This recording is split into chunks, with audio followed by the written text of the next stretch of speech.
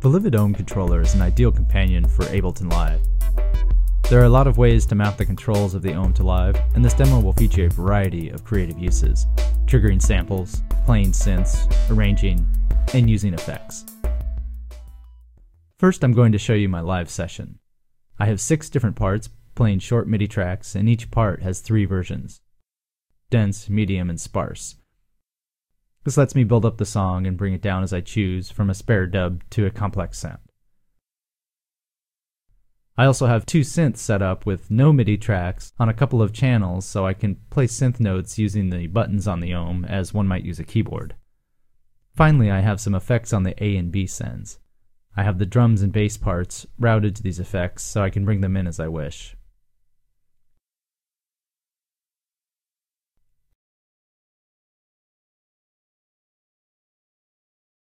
In Live's preferences, the Livid Ohm is turned on for remote control, for controlling volume and arranging.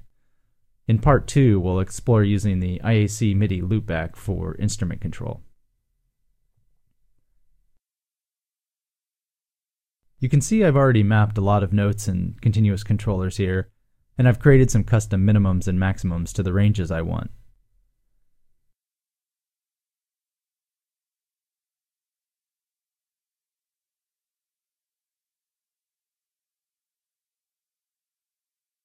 Now, in looking at Live and looking at the ohm, it's probably obvious that I've mapped the columns of the grid to Live's channels and slots. Let's take a quick look. The drums are mapped here. The bass parts are mapped here in the column next to it.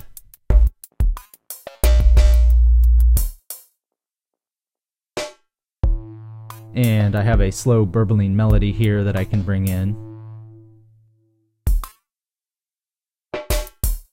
And some other sounds, uh, and so on all the way through column 6. Of course, I've mapped the vertical sliders to each channel's volume.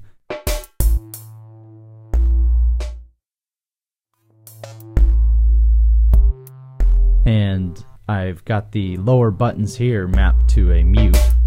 Uh, this way the layout is familiar like a mixing desk.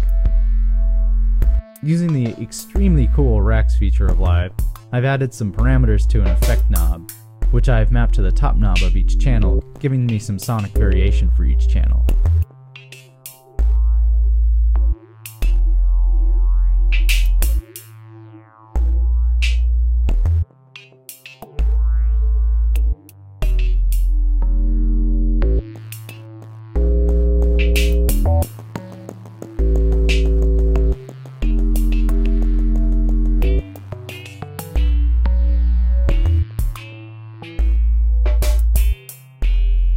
Start and stop are mapped to the F9 and F10 buttons for easy transport control, and the master volume and headphone volume are mapped to C1 and C2. So all this is very nice, and I can do a lot with this set just by connecting my ohm directly to Live. I can mix different parts, arrange, bring in effects, and all the great things that Live does really really well are now at my fingertips. But I still have a lot of buttons available to me, and in part 2, I'll show you how I map those synths using the Connect software and a MIDI loopback.